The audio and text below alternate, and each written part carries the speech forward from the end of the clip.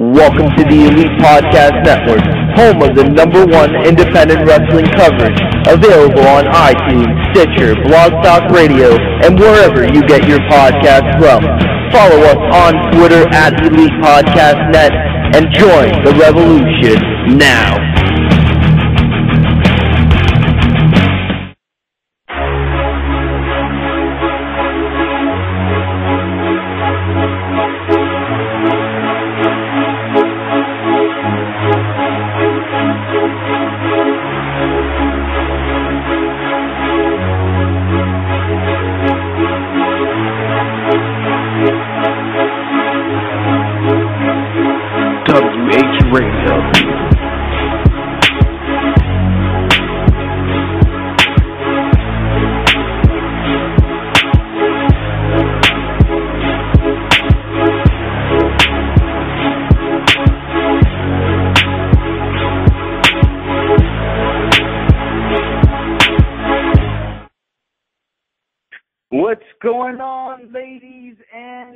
Gentlemen? It's me, it's me, the OSCAR, that is Oscar.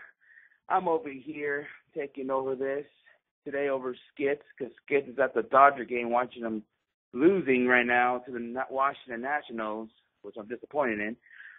But joining me now, I got my man from the NYC. He's he's probably shaking his boots because the Toronto Blue Jays are catching up to the New York Yankees. Mr. Tom, what's going on, mate?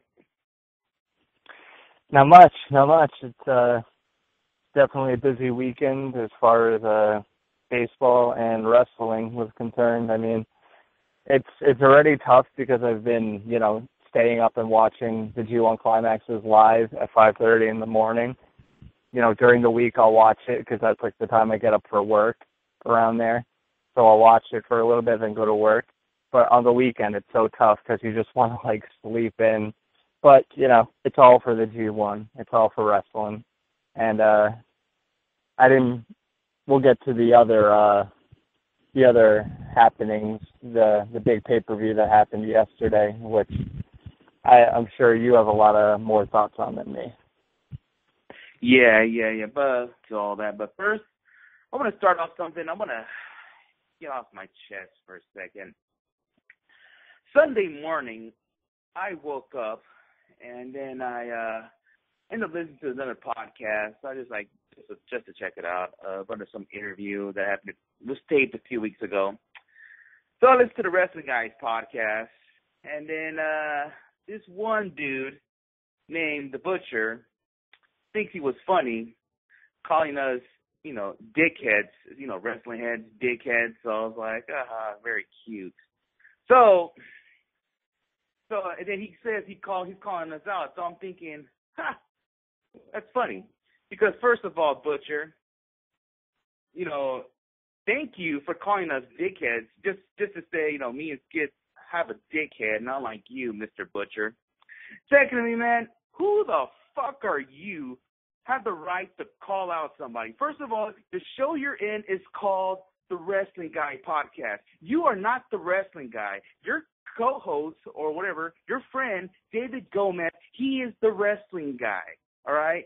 So basically, it's his show. You're just his little psychic. All right. You could come out there with your Taz-looking glasses and thinking you're fucking something.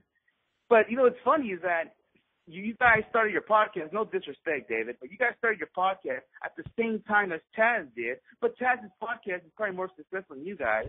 But then you come out wearing your tag tag glasses, thinking your podcast will be successful like him. Which good luck. I'll give you props though. You guys got LuFisto on your show, and uh, you're working on some other guys that you guys that we never had and you guys had. But just letting you know, Mr. Butcher, you don't have no right to call out nobody.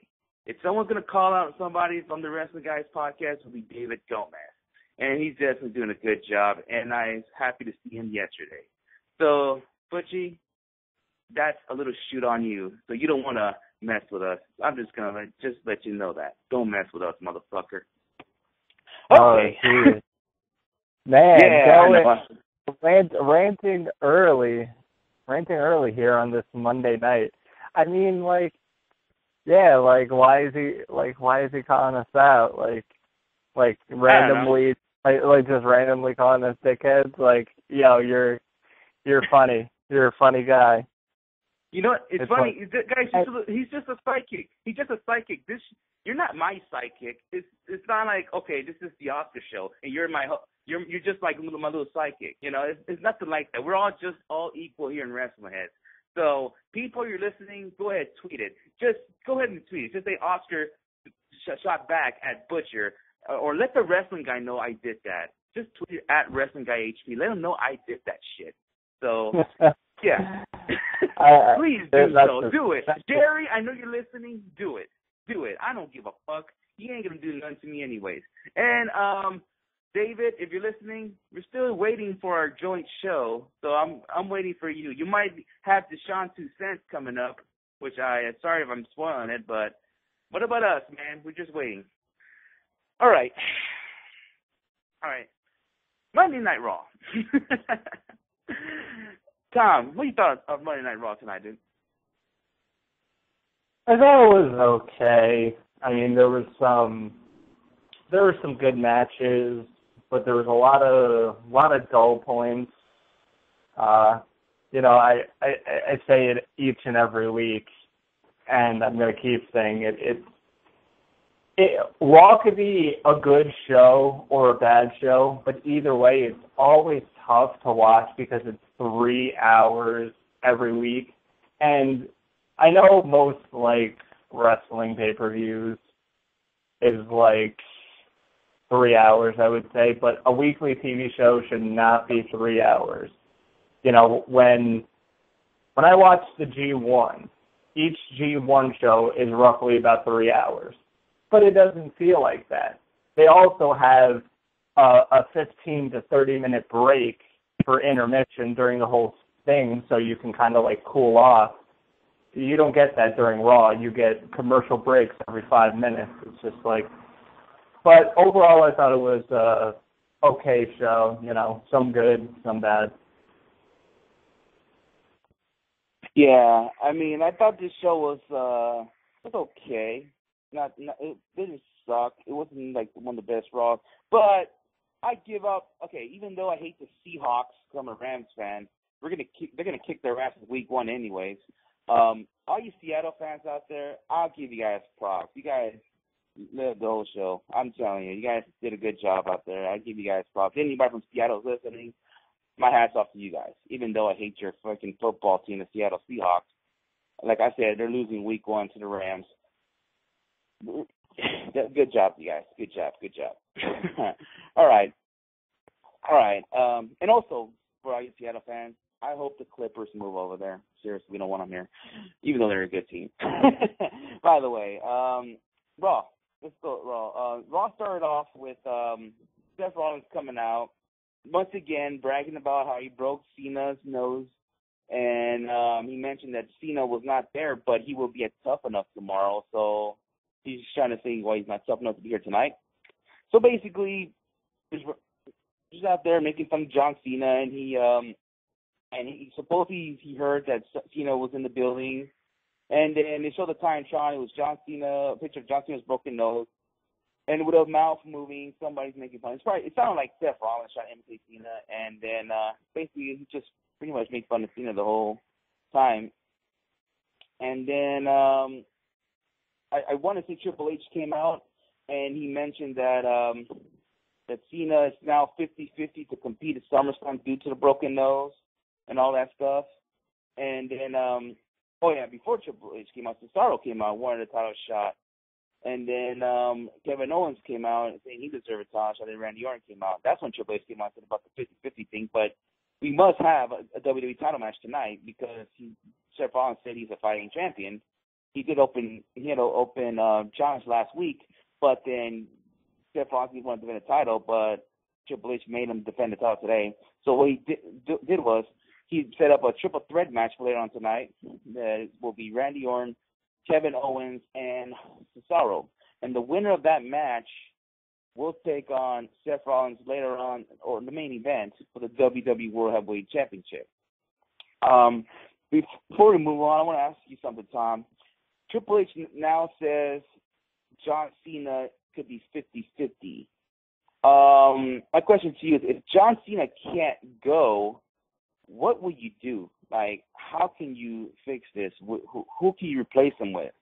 Like, can you can, will you put a Randy Orton, Cesaro, or possibly even Sting? Like, who who will you what will you do? Um, I mean, I, I I think Cena's coming back, but hypothetically speaking, if I was going to do this, I would because I feel like Orton is doing his thing with Sheamus, so I wouldn't do that. And plus, we saw that fucking match tonight, so I wouldn't do that. I would make I would make a triple threat match between Rollins, Cesaro, and Kevin Owens for the title at SummerSlam if uh if Cena couldn't come back. That's what I would do because it keeps the Cesaro Kevin Owens storyline going. Uh you know, it's a it's a big time title match. You have, you know, three great wrestlers in there. It would be, you know, a a great match. So that's what I would do.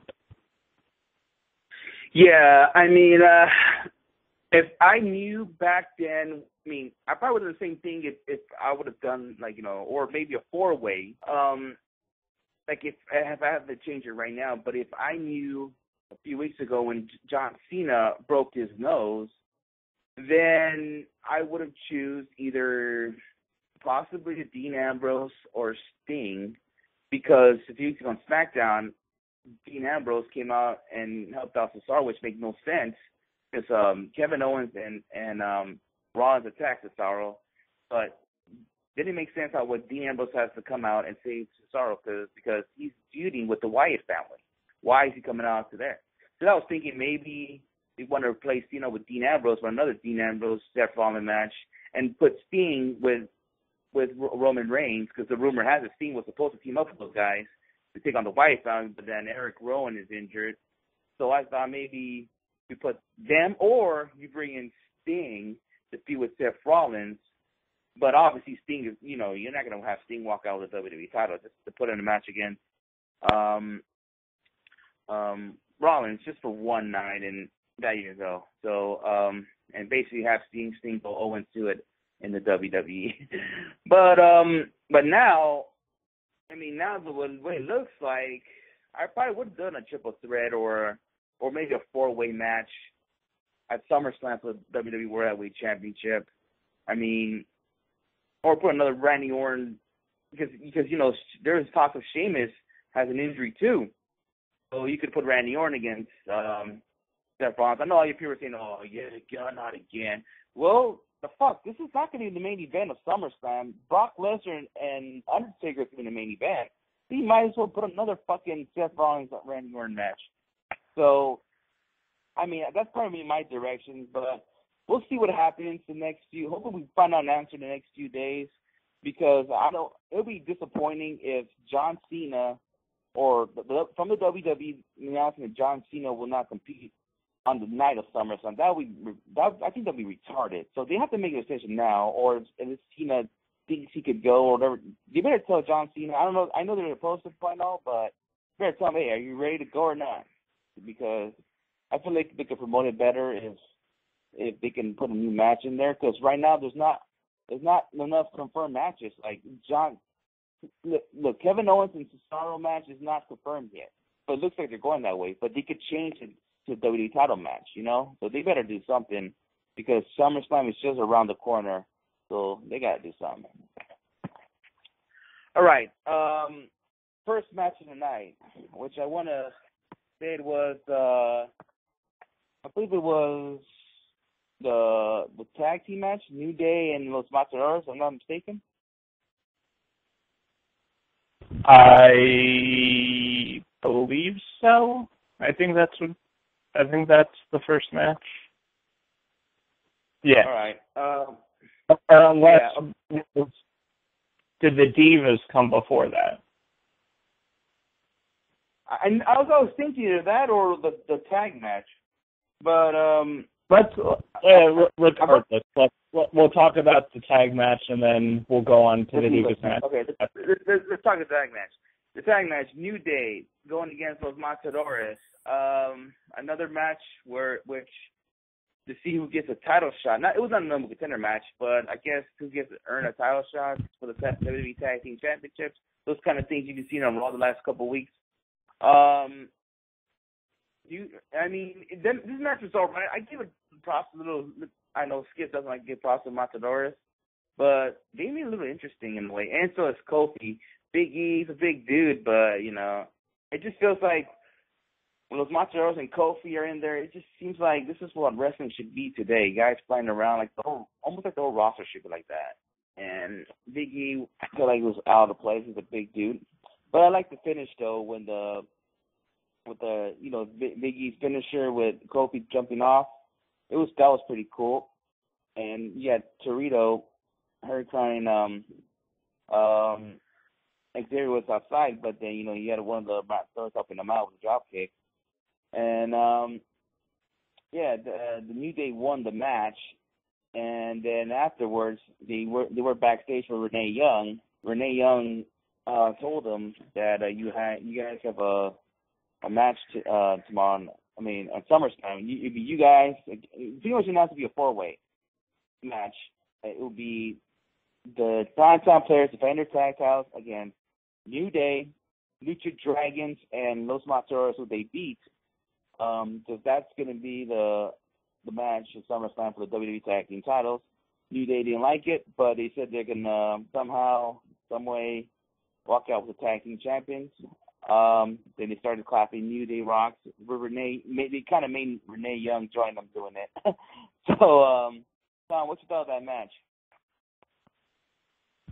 I thought it was okay. You know, it was kind of just like a typical Raw tag team match. You know, nothing nothing out of the ordinary. Uh, but I'm still get, gonna praise New Day. I, they're so damn entertaining week in and week out. One of the most entertaining acts right now in WWE. Just their entrance alone is is entertaining. Seeing Biggie and Kofi's clap each week, so entertaining. Um, but the match was fine. Um, the post match stuff with Renee was was hilarious. Um, and it definitely, you know, it it sets up uh, definitely some intriguing stuff to happen at SummerSlam with it now being a four-way match. Um, yeah, it mixes things up just a little bit. You know, I mean, we've kind of seen it before, but uh, you know, at least it's it's something different. But you you got to put the titles on New Day. You got to put the titles back on New Day uh, come SummerSlam. There's no primetime players aren't doing anything with those titles. The New Day's act is a thousand times better than what the primetime players are doing. Yeah, I mean, uh, I I totally agree. You have to put in uh, New Day. You know, it's early to make some some predictions. Maybe we'll do that next week. But um, yeah, I feel like the New Day have to walk out WWE Tag Team Champions. They have all the momentum and you know heels. Uh, this, it really makes no sense to have crime. I mean, I almost call them crime time. Crime time players uh, walking out Tag Champs at um at SummerSlam. It wouldn't make sense for Los Matadores or the Lucha Dragons to walk out those titles either. But you gotta give a new day. They got all the momentum, and um I could see them competing with the prime time player continuing. Maybe prime time try to get the tag belts back at Night of Champions, but we'll see. All right. Um, next match, which I believe was the Divas match, which was um, Team Bad against um, Team Bella. Um, there's this one spot that I give the Seattle props on this one. They chanted, "We want Sasha," while while um, well, um, Naomi was in the ring, and then she tagged Sasha. Sasha did like a couple of stops, and she, she tagged back into the fans were like booing a little bit when they did that. And then I there was that chat, and Sasha's ratchet. No, she's not. First time I hear that on Raw instead of NXT. And then uh let me see. I try to remember some couples. They, they gave these girls uh, once again plus, ten plus minutes in this match. Um, and then they won the match. It was, I believe, was uh, the the the Bellas that won the match, if I'm not mistaken. Um, Brie was doing the doing the little Daniel Bryan thing.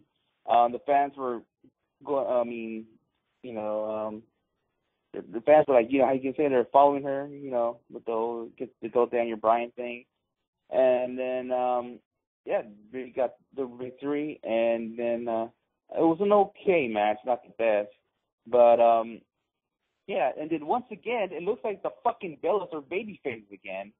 I don't know what the fuck they're doing in the last few months. Heel face, heel faces. Make up your fucking mind. Um, so Tom, what you thought about that Divas match? Yeah, you know, it was it was fine. You know, there you know, it's it's it's tough because Brie Bella got I think more time than like Alicia Fox and Nikki and she's like the weaker out of uh out of Team Bella. Um but it was it it was fine, you know, it was uh I thought it it was actually going to be worse. So it was a little bit better than I expected. Um, you know, there was some good brawling at the end. Uh, so it was, like I said, it was fine for what it was. It was okay. Nothing too great, nothing to write home about, but it wasn't terrible. You know, there was a couple of sloppy moments in the match, but nothing where you're just kind of like groaning and, uh, you know, smacking yourself in the face because it's that horrible. So, uh, you know, it's just, it's just to keep up momentum for uh, for SummerSlam, which uh, you know the match was officially announced tonight that it's going to be a three-team elimination match. You know, Team Bella, Team Bad, and uh, whatever. Did they did they ever say uh, the new name for Charlotte, Becky Lynch, and um, Paige? Yeah, um, it's uh, I think it's the P PBC. Is his name PBC? The yeah, t- uh, yeah, oh yeah, you're right. It's Charlotte, team yeah. uh, Team PCB. Uh, a lot better than the uh, submission. What was it? The the, sub, the submission squad or something like that, where they had uh they had Brazzers and all the all the porn companies tweeting at WWE thanking them for the uh the traffic influx from uh from what happened last week. So we were talking I know we were talking about that last week where it was like do these people pay attention to what they're naming their teams and what they put on TV? So I guess, you know, PCB is it's better than a uh than a poor name. But um yeah, you know, Divas they I think they only got uh, you know, one match tonight you know, la- for the past couple weeks they've been uh, they've been having like two two matches I would say per show. So tonight they only had one, but it was still fine either way. You know, the match went a decent amount of time. I think it went ten plus minutes. So, uh, yeah, like said, nothing nothing too great, but it it could have been worse. So I'll I'll take it. Yes, sweet. Um, I, I know they had another um well, they had a video package of Charlotte and um talking like Ronda Rousey, how she's doing women, and she wants to do the same thing. And I think she mentioned that hopefully one day WrestleMania can end with uh with a Divas match. Like a Divas match can main event a WrestleMania, just like how you know now women matches are in main event in, and um and and in the UFC. But uh if if she wants to try to have a women's match or main event WrestleMania, um, I wish her good luck with that. I mean, if if they if WWE ever does that, holy shit! I'm not gonna say that's impossible, but who knows? You know, WrestleMania main events have ended with um with a, I mean main event with tag team matches, single matches, triple threats, four ways. I mean, you never know. Steel cage match, but if it ended with a women's match, um, hey, I mean, I'm not gonna say it's uh, it's impossible, but I mean, it would be crazy if they ever done, never did that. So, um, yeah, we'll see. All right. Um, let me see next match. Uh, next match, I believe. I think it really went on the triple threat match. I believe because I believe the, the triple threat match was the it went on the after the end of the first hour. I, I, it was a triple threat match. Was I mistake? Am I right? Yeah, you're right. All right. The triple threat match with uh, Cesaro, um, I always call him Kid, but Kevin Owens and um, and Randy Orton. Uh, it was it started off pretty good. I mean, um, a couple of things I like, like when when Owens went outside, Cesaro went outside, and he tried to back off, and and uh, Randy Orton came from the other side, and he clotheslined him. I like that. Um, it it was okay. It's almost like something I saw before, but in a, in a tag match, but they put in a triple threat match. I like the ending though, that with how they made it look like Owens was gonna sneak out and win the match, but then Orton came out RKO. Um, um, Kevin Owens right like right after he lifted up um to do the the pop up power bomb, he RKO uh, Owens, then he RKO Cesaro afterwards. But then uh Randy Orton got the victory and he's now no contender or you can say he advances to wrestle Seth Rollins later on tonight for the WWE World Heavyweight Championship on the main event. Um but which was which which is um which is not bad I guess they put uh, Randy Orton in there. So, um, Tom, what you thought about that match? I thought the match was good. Uh, there were some good spots in there, like you mentioned. Uh, you know, each guy got, uh, you know, got their time to shine during the match. Each guy kind of looked strong uh, throughout the thing. Uh, you know, the double RKO at the end was kind of cool. Um, I I didn't think that Orton was gonna win. I thought Cesaro was gonna win, leading to a Cesaro Rollins main event, and then Owens interferes and you know costs them the match. But I was wrong on that. But match was still good. You know, kept the Owens Cesaro feud going, and you know what? It makes them. It still kind of makes them look like top guys either way. You know, because they're fighting with Randy Orton, who's a top guy, to see, you know, like who's the best. So uh we'll just have to see what happens with Cesaro and Owens, you know, what's gonna happen with them as far as SummerSlam and what's gonna happen with them going forward. Because that's the thing that definitely worries me is excuse me, going forward, you know, where Cesaro and Kevin Owens going to kind of fit into the mix? Where do they go from here? That's obviously some of the biggest questions, but you know, we got to do the only thing we can do is just uh, be patient and wait and see what happens. But triple threat match, pretty good. Um, yeah, there's really nothing else much to say about it. Orton. Okay. I, I I will say Orton he definitely plays to the crowd so good, and it's something that I'll mention once in a while because I think people like people get on Orton's case about a lot of things, but he, he plays to the crowd so good. I mean, he was getting them like fired up at different points in the match, and uh, just by his uh, you know his charisma and all that. While a guy like Cesaro, like he'll do a move that'll pop the crowd, but Orton will you know, like raise his hands up or something like that and get the crowd going. So uh some good stuff there and Owens uh he's such a great heel. Uh I loved how he talked about that all the fans uh that the fans printed out all the Cesaro section signs.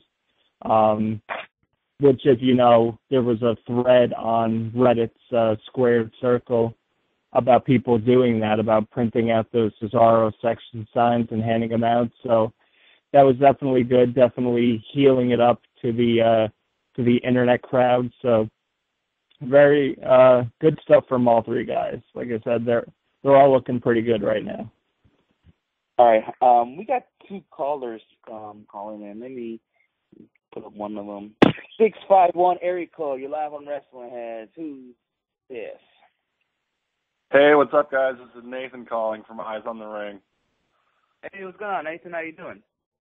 Uh, not too bad. Just figured I'd call in and shoot the shit since uh, Eyes on the Ring wasn't live last night for whatever reason. Um, yeah. So I figured I'd get my time in if it's okay with you guys. Yeah, it's cool. I mean, maybe we could talk uh AAA later on, even though you know there was a lot of complaints about it. But I know you watched the show, and I did too. So I we'll did, yeah. So. Yeah. All right. Um, hold on. Let me put this other person on. A second. Nine one six area code. You're live on Wrestling. Who's speaking? How's it going, guys? It's uh, it's Matthew. My name's Matthew.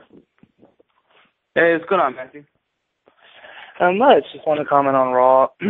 Definitely enjoying your guys' show so far, but uh, I just wanted to share my thoughts. Um, I, I thought Raw was. I, I would have given it a four out of ten if I had to give it, you know, a number. I, I think what I think is a big problem, and it's been for years, and I'm sure people are tired of hearing of it, but um, I think there's this huge lack of depthness in the mid card storyline. There's no real angles anymore, no real no real storylines. You just kind of get random feuds with with no story behind it. Um, and I think that really hurts uh, the interest in these mid card storylines. Um, and like I said, it's, it's been it's been like that for years. Um, so first off, what are your guys' thoughts on that? And do you, do you kind of agree? Um, yeah, I remember one point like like 15 years ago, everybody had a storyline. Even freaking like Right. Crash Holly, and then had a storyline from back in the Attitude Era. Um, it's just it's, now that I feel like they're trying to go that route. Like now they got something for Wade Barrett, which we'll discuss, later Yeah. on. Um, I think the roster is more is more. I think the more another problem is people don't realize the roster is bigger than it was in the Attitude Era. If you guys realize that, ever since they had um they brought in WCW and ECW one, they brought in more guys in, and then it's hard to fill up a storyline for all those those um wrestlers in that one roster. You know, so Yeah, and I- feel uh, like they continue on even even passing the whole invasion angle, they still continue on with that um that freaking um that I mean that that that system. I mean, and I think it's kind of dumb, you know. I I also think that there's obviously the comp- lack of competition, um, especially coming off of you know the Attitude Era. Um, they were still in that mode of going you know full full throttle, and I think that uh, without without competition, without another wrestling company going head to head, um, naturally they I just think that they don't have to, and um, that's why you kind of get like a it kind of feels like a repeat, you know, like you look at uh the tag team division and I actually do feel like there's more talented wrestlers on the roster than there was in the Attitude Era. But um, just looking at the rosters now, um, and, more specifically the tag team division, um, it's just like repetitive. You know, no no story, like I said. Um, and just kind of touch on that Orton uh, match real quick. I, I mean, I thought it was a good match, and I, I understand why they went with Randy. Um, you know, as as the winner, I, they wanted an established main event um, star in that final match. Um, but I would have loved to see Kevin Steen in that match. I think that uh, WWE is just way overdue in pushing new main eventers um, and new faces. I think Kevin Steen could be that lovable anti-hero that people just love to cheer and they can't boo. Um, but you know, we'll, we'll definitely see. But yeah, I just wanted to say I love the show, guys, and share my thoughts. Yeah, it's cool. Hey, you know what? But the whole Kevin Owens thing not getting a shot. Hey, I'm not. I won't be. I mean, I won't. I won't complain if um somehow that match got replaced at SummerSlam with Rollins defending the title against Owens and Cesaro, because I wouldn't not complain if um Owens is winner night if they go in that direction. So we'll see. We'll see how uh, John Cena's injury goes. By let's Yeah. hopefully have an update the next couple of days and say, okay, John Cena's out. Then they could promote this match a little better and not the last minute thing. And uh yeah, it'll be it'll be interesting, you know. Yeah. All right, take care, guys. Thank you. All right, thanks for calling again. You guys from Sacramento, right? All right. All right, take care, man.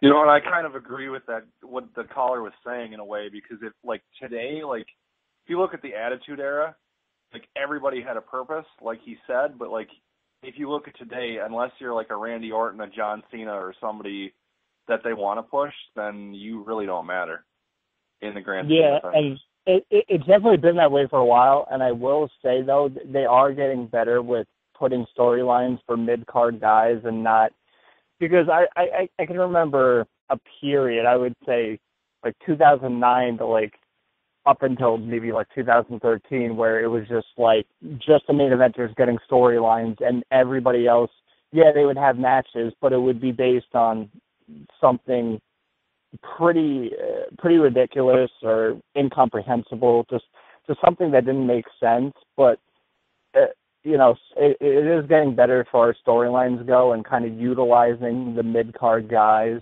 um it's not to the point of where the attitude era was I, and and a big reason that so many people like when you look at the Attitude Era and everybody was involved in a storyline. A big part of that was Vince Russo. You know, you watch a, a bunch of shoot interviews, and everybody says that Vince Russo was the guy who told Vince McMahon like we need a storyline for everybody. So that that was probably one of the only positives that Vince Russo did in wrestling. But um, yeah, like I said, it is getting better, but it what uh, another main problem is that when we do get mid card storyline feuds, there's a 50-50 chance it's either going to be a good storyline, but then the other half of the time it's completely fucking stupid. Like this whole Rusev Dolph Ziggler storyline going on, nobody gives a shit.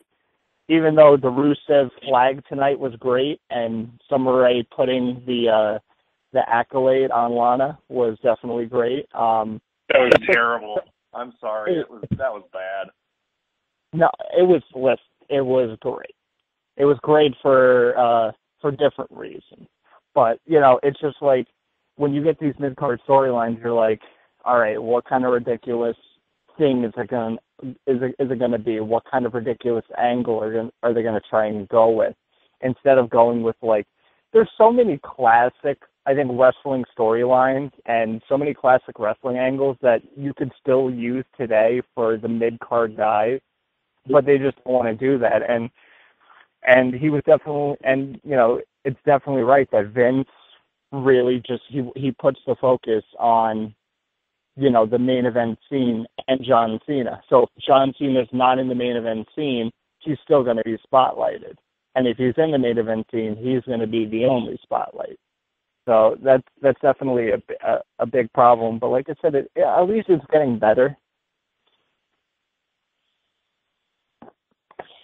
Yeah, definitely. Um, all right. Uh, let me see. We just uh, the triple threat match happened. Um, they they once again. Uh, let me make this. Uh, let me let me make this. Up. They announced next week on Raw that um, both Undertaker and Brock Lesnar is going to be there, and Mr. Nathan. I believe you're heading to that show, right? Yes, I will be. Me and Joe will be at that show, so chances are I won't be able to call in next week. I feel you. I will uh, be that.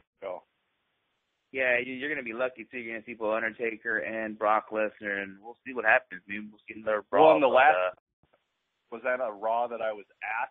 It was when they announced the end of an era Hell in a Cell match that happened at WrestleMania 28. So I'm really excited to see what's going to happen. Yeah, definitely. Well, it seems like next week's Summer uh, next week Raw will be pretty interesting. Now that both Undertaker and Brock Lesnar will be there, and that's Brock Lesnar's hometown, so anything can happen. um, also, um, let's see what also happened. Uh, I'm trying to think what else happened. Um, I mean, I, and I know the main event happened. I, in the end. I, I, I want to get I want to get this out of the way. I know it happened later in the show, but the whole Stephen Amell thing that happened, obviously. So it was Barrett, uh, King Barrett, whatever, uh, versus Neville tonight, and you know they had a match, and Stardust came out and attacked Stephen Amell, and he, of course, jumped the railing. Like, like people were people were surprised that the guy was just sitting at ringside and being mentioned like every every 20 minutes, and he wasn't going to be involved in something. Like, of course. Um, but then they're backstage, and Stephen Amell's with security, and they're talking to Triple H, and Neville's there too. And Stephen Amell told Triple H that he wants, you know, that, yeah, what the, he, you know, attacked. He got attacked. That even though he's an actor, you know, he's a man still. And if somebody puts his hands on him, he's gonna, you know, retaliate. And then Neville suggested that they do Neville and Stephen Amell versus King Barrett and Stardust at SummerSlam, and Triple H kind of laughed it off and said, you know, you don't belong here. You're an actor. So Stephen Amell said, you know what? I'll have my lawyers, you know, take care of everything. There's going to be, you know, no lawsuit, no nothing if you do the match at SummerSlam. So Triple H said something about by 9 a.m. tomorrow, um, you know, have the papers ready from your lawyers and you'll have the match at SummerSlam. So basically it's going to happen. I don't know why they had to throw that little quip in there, but so basically SummerSlam is going to be Neville and Stephen Amell taking on uh, King Barrett and Stardust, which I didn't see coming. I didn't see them making it a tag match. I figured they were just going to throw Stephen Amell in Neville's corner. But what do you guys think of this whole thing involving a celebrity into a match at SummerSlam? Well, I'll start off saying that I was wrong, but I can tell you this though: I don't think Stephen Amell will get um involved too much. He might might wear uh, his his um his Green Arrow outfit as a wrestler, like a wrestling gear, but um, but like I said, I don't see him getting too involved involved in this match. I see Arrow mostly sorry mostly um Neville and um well you can add Jarrett and um Stardust in there as part of the I mean getting taking all the bumps and stuff. But I don't see Steven taking any um bumps at all. I wouldn't be surprised he gets the victory. He gets the pinfall on Stardust. Um but having Wade Barrett involved, I mean, kind of weird in a way. Like it's never, it's never been like in a. He's never been part of the storyline the whole time, but it just seems like they just want to have a tag match and say, all right, let's just add uh Wade Barrett in there, you know. So um yeah, we'll see. Typical creative has nothing for you scenario when it comes to Wade Barrett, by the way. Yeah, pretty much. And I, I have this very funny feeling. I could be wrong, but I feel like Stephen Amell is going to pin Barrett. Like Neville's going to hit the red arrow on Barrett, and or maybe Stardust. But I just have a feeling they're going to do it to Barrett, and then Stephen Amell is going to do something, and Barrett's going to take the pin. It, it, it could go either way with Stardust or Barrett, but I just have this funny feeling they're just like completely, completely done with Barrett. He looks like I he's. feel like you're wrong, but I have a feeling that you're going to be right because, and if that happens, fucking Wade Barrett is basically done after that. They've tre- they've turned that guy into a joke. Yeah, from the Nexus leader to a freaking joke. But I still feel that Steven's gonna get the pin on Stardust. It will make more sense if he gets the pin on Stardust more than uh, Barrett, because you know this whole rivalry was based on you know the Arrow against Stardust, and now you have the, the Arrow, you know the the Red Arrow against Stardust, and he finally got an ally that's way Barrett. You know, it, it would not make sense at all if Barrett, if Barrett got pinned. Um, but yeah, we'll, we'll see what happens, and uh, but it goes next week. And let's see if Steven appears next week, and uh, yeah, see what happens. All right. Um, we're trying to see what else happened. They, they they did have a video package thing about the Undertaker and uh, Brock Lesnar as um all the the current and legendary guys like Steve Austin giving out their comments about the the match, and um one guy says Undertaker's gonna get destroyed. Then JBL thinks Undertaker's gonna win. It's a must win for Undertaker. I just thought that the package was pretty cool, and um, I, I think right now, or it could be over the WWE Network that they're showing this little thing behind the rivalry between the Undertaker and um, Brock. I hope it goes back way back when um, time when the Undertaker was doing the and Brock Lesnar again. Yes, I was at that Unforgiven, which it ended in a draw. I was at that Unforgiven. and um yeah, it, from there to WrestleMania and to now, I hope they show the whole thing in that in that uh program show on the network, which I haven't seen yet. But we'll see. All right. Um, I'm trying to see what else interesting happened on Raw. Um, Luke Luke Harper versus Dean Ambrose. yeah, that was pretty. That was pretty cool. I mean, it was not the best, but it, it had a, a shitty ending, though, right? Like, um, did it Bray got involved, and then it, and then uh those two guys, uh, you know, from uh, not two guys, but Roman got in, and then and then uh, basically that's pretty much how it ended. Like I thought that match was not that good. Even it's hard for me to say because both you know Dean and Luke does put out great matches, but it just felt like this match wasn't great. I mean, I, I I thought the match was was like fine. It was like it was what I thought a typical Luke Harper, uh, Dean Ambrose match was going to be. I was very surprised that Luke Harper um, actually won the match, got the pinfall on Dean Ambrose with the discus lariat. I hate I hate that WWE. That's one of my little like uh, one of my little pet peeves I hate about WWE and their commentary is that they won't call it a lariat. So they, they call it a clothesline. It's like no, it's a fucking lariat. But that's just that's just me and one of my little little hatreds of WWE commentary and what they do. But I was surprised by that. But you know, it's a typical match. There was uh not interference, but you know, Dean Ambrose was brawling with Harper on the outside and then attacked Bray Wyatt and then um you know, Roman Reigns did a Superman punch on Bray Wyatt and was attacking him. But uh, you know, just setting up the match uh for SummerSlam where it's gonna be Wyatt and Harper taking on Ambrose and Reigns. And let me let me ask you guys this. Um who I I have this funny feeling that there's gonna be a heel turn at SummerSlam. Do you guys think that Roman Reigns turns heel?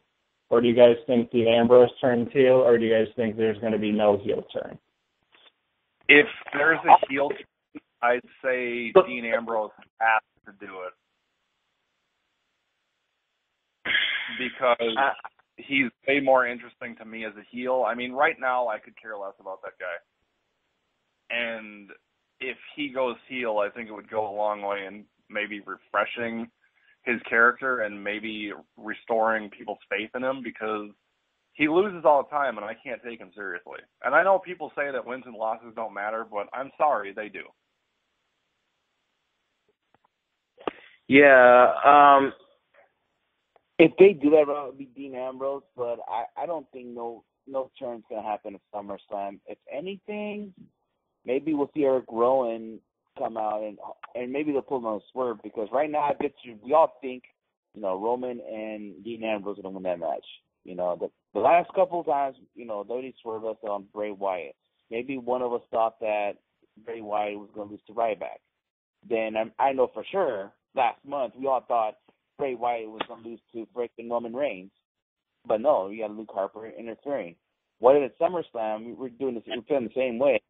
Roman and Dean's gonna win the match, but then you know they swerve us saying, okay, now they got fucking Erick Rowan interfering, and then now the Wyatts win.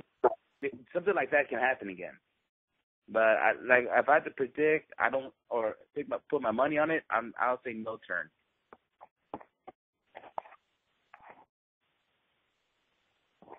Yeah, you know, I, if anything, I'd have to go with what Nathan said because it, you know, it seems like they're they're building up this whole storyline. It's like Ambrose was saying tonight that you know him and Reigns are you know actual brothers, like they know each other, and you know he said that Luke Harper would do anything for Bray Wyatt, but Bray Wyatt wouldn't do the same. So they don't have like that close connection. So you know that's what they keep building this whole feud on. Um, so that's what kind of gave me the indication that there might be something fishy going on. But uh, should be interesting to see what happens at SummerSlam. And I I definitely think Dean Ambrose probably needs a heel turn because it's just like he's kind of stuck in purgato- uh, purgatory right now. You know, he's not really doing anything except for this. Uh, if this wasn't going on, he wouldn't be doing much. So I, I think a heel turn would kind of freshen things up for him. Um, and hopefully they would stop calling him the lunatic fringe. I'm so sick of that every oh. single week. There's if they, if he turns heel, they're going to do it more.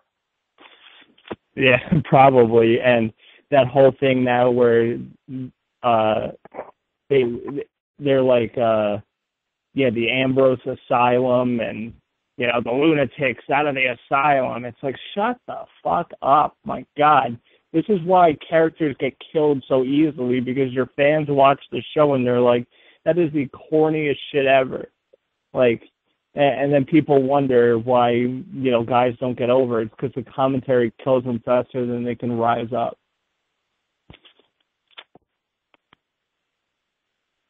Yeah, definitely.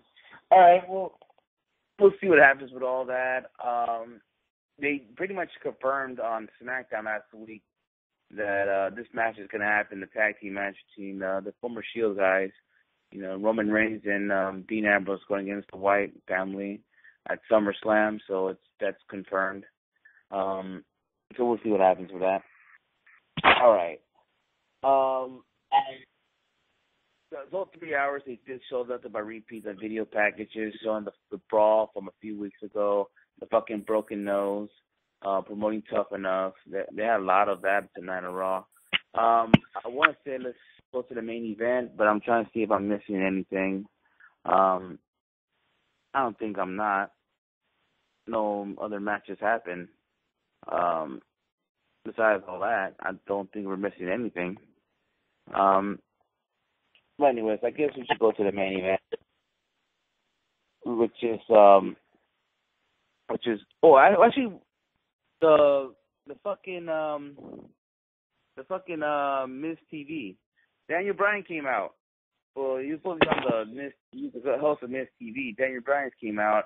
Um, a lot of people thought he was there to um promote his book, but I feel like it was more than that. Like he came out and you know he didn't want to miss an episode of Raw with his home state of Seattle and putting over the Seahawks once again, which uh I don't think they're gonna make the Super Bowl, but oh well. um yeah, he just just came out and then uh Miz was getting all pissed off that, you know, people cheering for Daniel Bryan, you know, the yes, yes, yes, no, no, no, all this crap. And then um, you know, he mentioned about Ryback, he should bust what he he did work for the title. And then um Big Show came out, then I don't know where the return of your Intercontinental champion Ryback from the staff section. So I believe they also announced the matches on, on the that match that was supposed to happen last month on Battleground. Now it's on at SummerSlam. So Ryback will defend kind of title against both Miz and Big Show. So Ryback came out and clean house, and uh yeah, that was pretty much it. And that shows the return of Ryback. I'm sure Tom is excited to see Ryback back. um, fucking couldn't care less. This whole the Intercontinental title is back in the fucking toilet. Fucking Daniel. Daniel Bryan can endorse Ryback and raise his hand all he wants. It's still pure shit. No one gives a shit about Ryback or The Miz. The Miz is only great on Tough Enough, and that's about it. No one gives a shit about The Miz otherwise, and no one gives a shit, of course, about The Big Show. So you have a pointless match now for a title that you started to build back up, but has now faded back into obscurity. Good job. Hmm. Yeah. All right. Um, I guess we should go talk about the main event, which it was um, Seth Rollins against um, Randy Orton, but but they hyped up the whole, you know, how he RKO'd uh, Rollins of WrestleMania, you know, from the, the reverse um, curb stomp. I'm also surprised they show that, you know, even though they banned the curb stomp. So, um, yeah, they they uh they had that match again. This on main event of Raw. Uh, once again, Randy Orton did a highlight again, a Hall of Fame highlight, RKO, which you know basically it's almost like the CM Punk thing, which um he jumped off the rope and then did Randy Orton RKO'd him. Everybody thought he was going to win the match right there until Sheamus came out and cost the match. Then Sheamus looked like he was going to. He says, uh, Tom, you see something? I didn't say anything. Oh, okay, I'm tripping. Um, all right. Um, it it looked like um Sheamus was trying to cash in the money in the bank while Seth Rollins was in the ground, but then uh Randy Orton just RKO'd Sheamus and uh looked like SummerSlam we're gonna see a Sheamus versus Randy Orton match once again. Hopefully it's for the Money in the Bank match because there's no point having another Sheamus Randy Orton match for nothing again. You know, that there's no point in that. Um but uh we'll see what happens. Um, uh, hell, we don't know if Sheamus even cleared to wrestle. I mean, we heard he had a concussion, um, I think a few days ago, but we don't know if he's even cleared to wrestle. Um, One but uh, anyways, what you guys thought of the match? Uh, starting with uh, Tom. Yeah, I don't know what the whole deal with Sheamus is. Match was okay. You know, there were some good spots, good counters. Um, I knew everybody and their mother knew that Sheamus was going to interfere. Like I, I, I could have seen it coming from a mile away. But, well, you know, Sheamus. Uh, first of all, Sheamus attacks, you know, Seth Rollins and Orton and all that, and then he's going to cash the Money in the Bank. What in the fuck was taking the ref so long to cash in the Money in the Bank? What was taking him so long? Like it literally took a minute. You know, Sheamus handed the the briefcase to the ref, and he's like, "I'm cashing it in." And the ref's like, like looking at him, like, "Are you sure?" He's like, "I'm cashing it in." And the ref's like, "Are you sure? Are you sure? What are you doing? What are you doing? You're cashing it in?" And it, like And it this was a back and forth. this always happens with um Money in the Bank cash in teases. And they're so I hate I hate it whenever they do it. Because they make the guy that's trying to cash in look like an idiot. And that's exactly what Sheamus looked like tonight when he was trying to do it because the ref was so confused, almost having a seizure. Like, what are you doing? What are you doing? It's like, well, what do you think he's doing? He's giving you this briefcase. He's trying to cash it in, and it's just it made Sheamus look like an idiot. I don't know. It makes the ref look more like an idiot too, because it's like, what is taking him so long just to ring the bell? And then when a pay per view comes around, you know, all of a sudden a ref will ring the bell within five seconds, and it's like, w- what's the ref's problem tonight on Raw? I, I I hate that. I hate when they do those little teases, and it takes the ref like a, a couple years to to figure out what the guy's doing, and then nothing happens because of it. You know, no bell rings or nothing. Yes, definitely. All right. Well, that was pretty much um Raw, but uh we'll see what happens next week.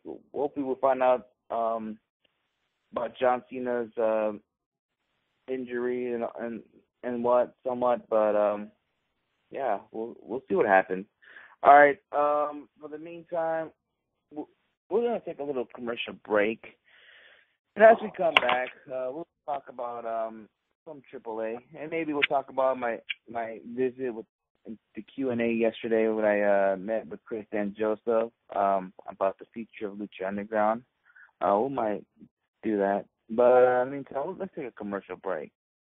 What's up? This is the phenomenal AJ Styles down here in uh, LA, kicking it with the uh, PWG, busting my tail. Freaking great tournament, the BOLA tournament is freaking amazing. Anyway, the fact of the matter is, everybody and anybody needs to listen to Wrestling Head podcast. Hello, pro wrestling fans. This is pro wrestler Brian Kendrick. Thank you for listening to Wrestling Heads. This is Eli Everfly, and you're listening to Wrestling Heads Radio. Fucking bullshit! Well, both Skits and freaking Matt are not here, so I will just put it on. I just put that shit on. Usually they'll put that fucking shit on anyway. but anyways, um, uh, maybe maybe freaking Nathan can help me out here because uh, we both watched this event last night um, on pay per view, which is uh, AAA Triple Ma- Triple Mania. Um, Nathan, let me ask you a question. What was your what you thought of the whole pay per view? Um, you know, I'm not gonna go and say it left a poor taste in my mouth, um, because I knew what to expect with last year's Triple Mania. Um, I saw last year's Triple Mania 22 on YouTube eventually, and there was it was kind of like in the same vein where they had a lot of production issues throughout that show. And with Triple Mania 23, it was a nightmare to watch just because of the audio and everything that was going on with with the production side of things. I didn't think the wrestling was that bad. Um, there was a few matches I had problems with. Overall, I'd give the show like maybe a seven or an eight out of ten. I thought it was a pretty enjoyable experience. Um, but this is coming from somebody who's watched AAA for like the past year. So, but if if I was a new fan and I just decided to order this pay per view on a whim, I would probably be pissed off that I wasted thirty dollars. But as as it stands now, I'm not mad at all. Yeah, I mean, I felt the same way. Like, I feel like I was watching an i pay per view. You know, when when i pay per views had their little eras yeah. going on, like W, Ring of Honor, or Evolve, i pay per view, and they, they, you know, they eventually they'll get some errors then and there. You know, um, you forgot to mention that even uh the Lucha Cup had some um had some issues as well. Uh, if you remember that, remember the uh, the Lucha Cup? They had both English and and Spanish commentary going at the same time at one point. So yeah, they but like issues. That to me wasn't a huge issue. It was just kind of a minor annoyance. Um, but yeah. the ongoing audio issues last night for this pay per view were kind of a drag to get through, and it was kind of hard to ignore. Um, but I will say this: uh, we were we just got done talking about Raw. I would rather listen to uh, buzzing and hissing on commentary than the commentary that we actually get on Raw. But that's just me. Um, but yeah, it's I don't know what their issues were, and like I said, they've had issues in the past with presenting Triplemania. Um, if this was just an eye pay per view, I don't think it would have been a big deal. I think they would yeah. have been able to fix it because it was a national pay per view and it was their big breakthrough into the U.S. and the U.S. market and the Canadian market. I think you're gonna le- you're gonna have a lot of first time fans that might not give AAA their money again, and that really sucks. Yeah, yeah, it really sucks. But let's go. And- let's, and especially you can't do this, especially because of what New Japan did. You know, with Wrestle Kingdom nine, people were raving about that show. People, you know, you gave people multiple chances to watch it. That was New Japan's first pay per view in the United States and Canada as well. It was the same deal that AAA was doing, available on all uh, pay per view providers, available everywhere. No issues, no nothing, because then the Global Force Wrestling probably worked, you know, day and night to make sure that nothing was going to screw this up, that it was going to be the matches that presented the show, and there was going to be nothing else to interfere with this. They should have taken a page out of Global Forces and New Japan book with that. You know, and it's, you know, I, I understand sometimes you know, audio issues will happen here and there, but for it to happen, from what I've heard, for 75% of the pay-per-view, that is that is unexcusable. That is inexcusable. And one of the things I saw when AAA issued their apology, um, and you know, Court Bauer was all over Twitter, and he was, you know, telling fans that it was inexcusable and there's no excuse for this. So I definitely feel bad for a guy like Court Bauer because he definitely saw that he was trying his hardest to make sure that this was uh, going to come off as you know best as he as he can make it, but it it's unexcusable. And saw no mention of refunds. I saw no mention of people getting their money back from this, and like I said, that's going to turn people off even more because it's like, all right, these to the people that wasted you know thirty bucks on the show, and now you're not even going to get a refund because you know for whatever reason that's definitely going to turn a lot of people away, not just from watching AAA on pay per view ever again, because I don't know if AAA will ever be on pay per view ever again after this whole thing, but it's going to, you know, deter people from watching the product as a whole. I think AAA will be on pay per view again because you have to realize that uh, ECW, when they first ran pay per views, their first couple pay per views were fucking disasters. And they were still able to figure everything out. And but, Ring of Honor continuously has iPay-per-view issues, or at least they have in the past, and people still give money to that. So I think it's I don't think that's an issue of whether or not they get another pay-per-view. I just think it's they need to figure out exactly what went wrong and how to fix it before they ever try to do this again. Yeah, and another thing I want to mention, um, I didn't want to mention it now, but all right, um, if you heard the end of the show, Nathan, um, Matt Striker said, "Tell your providers you want the you know next event, which is Immortal Heroes on October the fourth, to be on pay per view." Um, yesterday, when I was at the freaking uh, Q and A, um, Kristen Joseph did mention that he got he got ties with AAA, and he did mention that that's what they're planning to do. All their big shows they're having, are they're gonna they're, they're gonna plan to put them on pay per view. So if Immortal Heroes Please. comes to it would not it would not it would surprise me. Um, one thing I was going to mention earlier when we or when Matthew was talking about Triplemania, we I yeah I can't talk. Um, I ordered the show on pay per view, like traditional pay per view. I know that there was an iPay per view version available. I'm wondering if the iPay per view version had the same audio issues that the pay per view version had, or if it was. Yeah, I, I'm assuming that's a good question. I, I don't know. Yeah, I'm assuming it did because it's coming off the same feed. But like I've ordered um I ordered the last um AAA pay per view or i pay per view before Triplemania, which was Verano de Lucha or no, Verano de Escándalo. de Escándalo, yeah. That Yeah, Escándalo, and that yeah. one did not have very many audio issues. So I'm wondering if had people ordered it on the internet through internet pay per view, if it would have been a lot better of an experience. But like I said, I didn't order the iPay per view version, so I wouldn't know the answer to that question.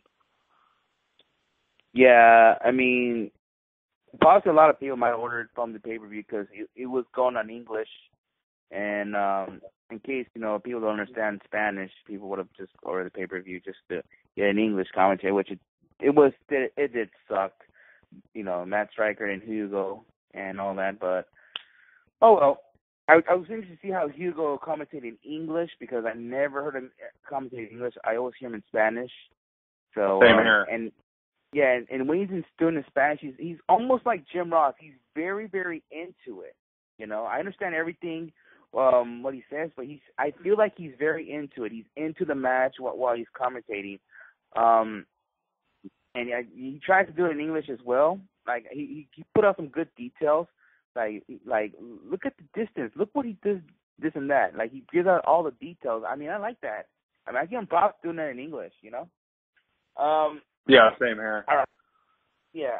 All right. Uh, let's just start off with the match. It it opened up with pretty much like an um I want to say like an all star, but it just seems like they just put on these um these talents in in this match in this a, a eight person tag match, which was uh Draga teaming up with Mamba, Mini Psycho Clown, and Sexy Star against uh Dinastía, Drago, Goya Kong, and um Pipi Linda Esperada. Um, Tom, I'm sorry, not Tom. Um, Nathan. Let me ask you, what you thought about the, about the opener? Um, I thought this was not a good choice for an opener. If it was me, I would have put picked something else uh, in its place and had this match go on second. I don't necessarily know which match I would have had open the show, but this match kind of uh, really didn't work for me.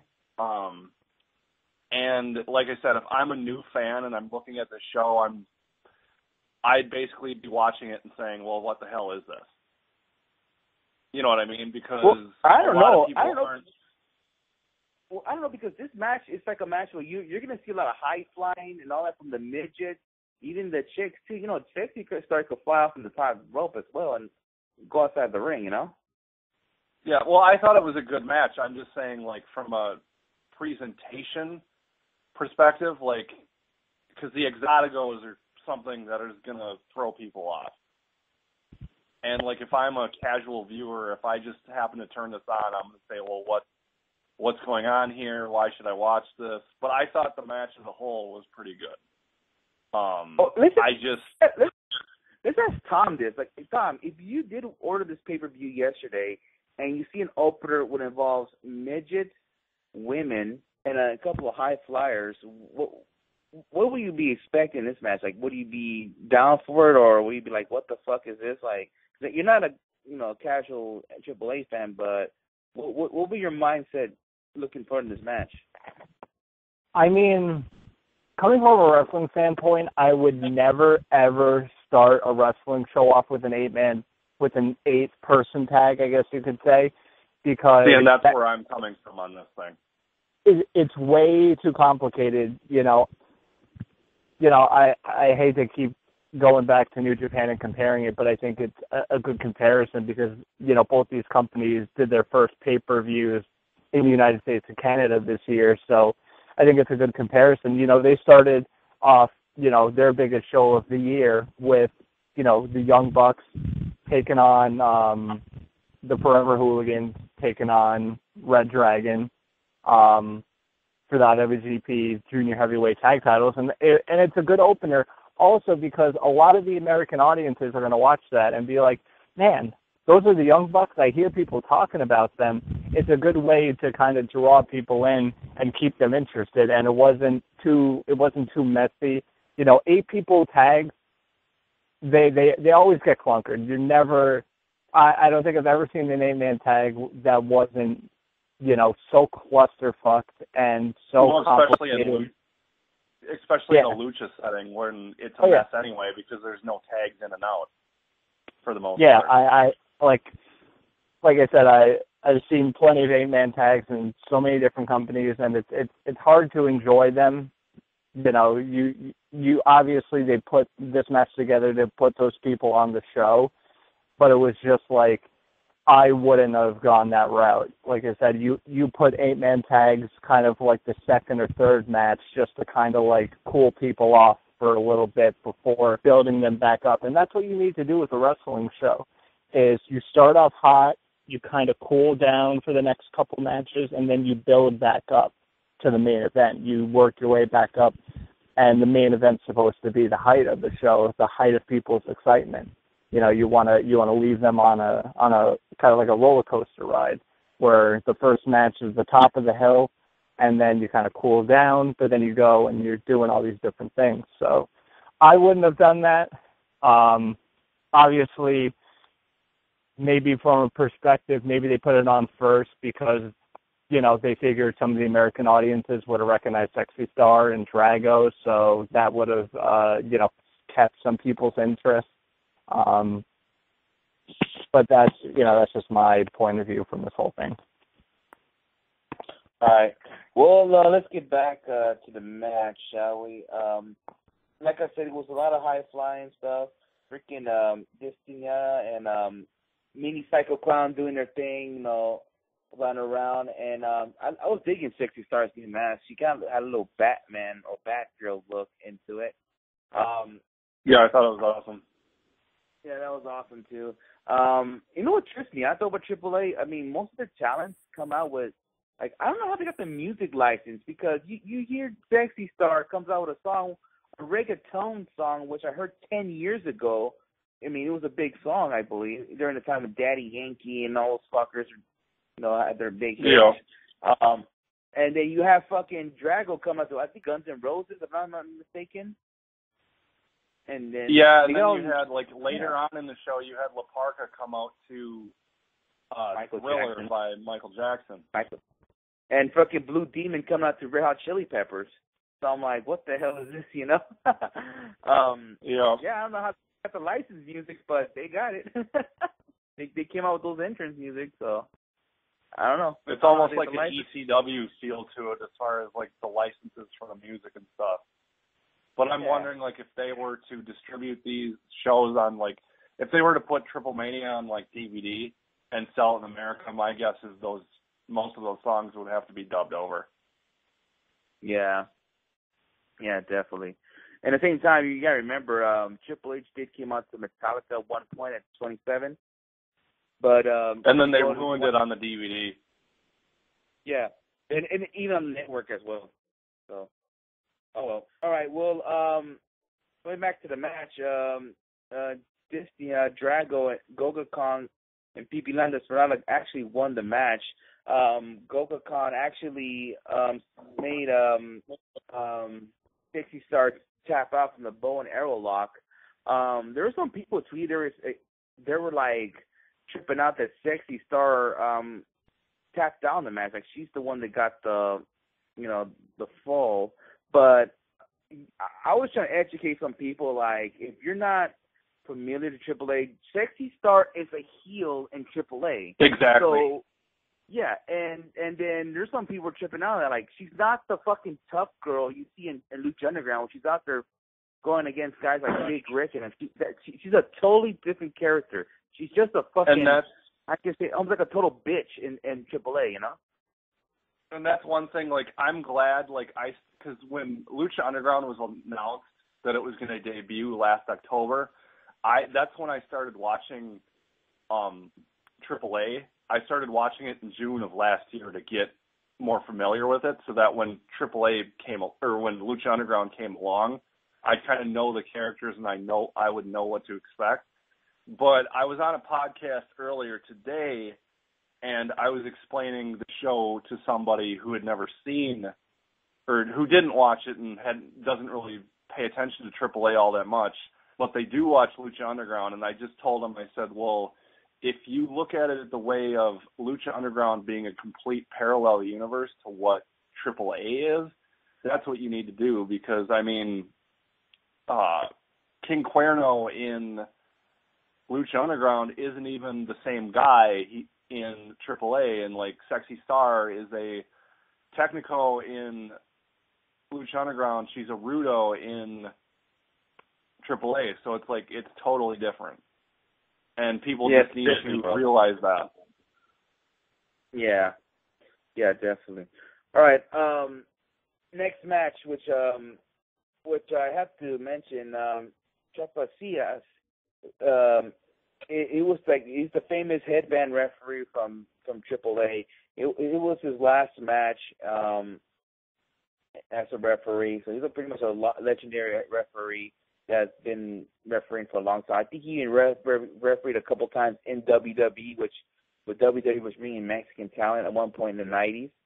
So um, yeah, he was just celebrating his, this is gonna be his last referee match, and um, and his referee match, his final referee match will be another well, farewell match to Villanos Three, which is the Villanos will be will going against the Psycho Circus. Which Psycho Circus had an awesome entrance. I tweeted it, and AAA actually retweeted it. So it was pretty cool from AAA for doing that. And then um this match, I expected to be like this. Like it, it was slow paced. The Villanos are are old, so um I expect them. And and then Psycho Circus, you know, I I expected to be a real slow paced match, and I was right.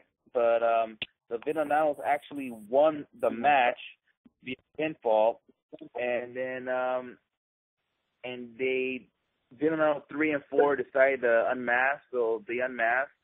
Villanos five just stepped away because he I doesn't want to get unmasked, but out of respect, I guess Villanos three and four they did take off their mask, and three is done. He just went on retirement, and um the Psycho Circus shook their hands and everything, and um had a big little celebration. But too bad it was this match wasn't great. Like I, I like I expected, it was getting a lot of slow pace due to the phenomenon of age. Those guys are freaking old, and and you know what can I say? You know, um, uh, Nathan, what do you thought about that match?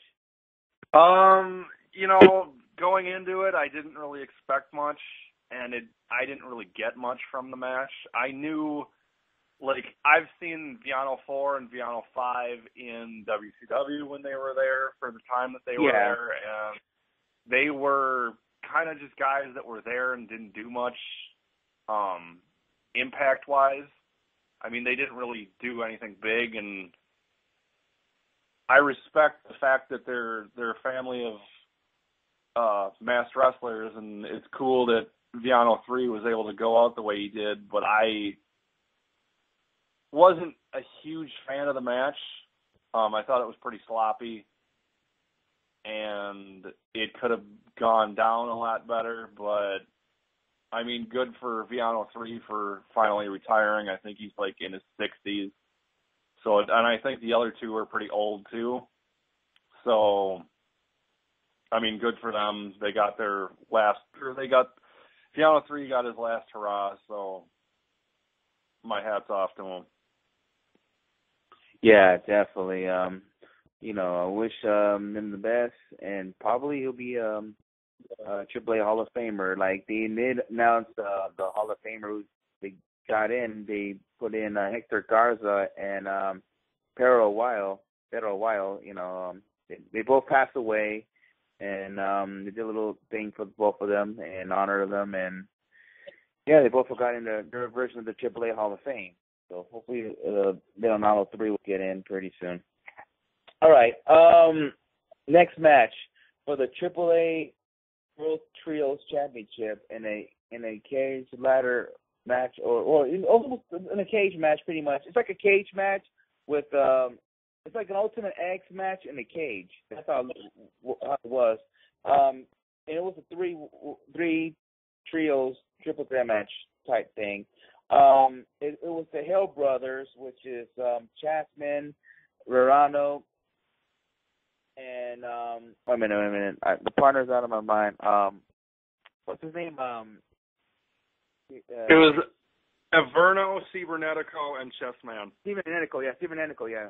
For some reason, I had, his name out of my mind, but Cibernetico and Averno and uh, Chessman, they're all teaming up. They're, they're the champions, the Hell Brothers, teaming up against uh, the tag team of uh, Jack Evans, Angelico, and Phoenix, and um, and Pentagon Jr., um, Pentagon Jr., uh, Texano, and Hijo del Fantasma.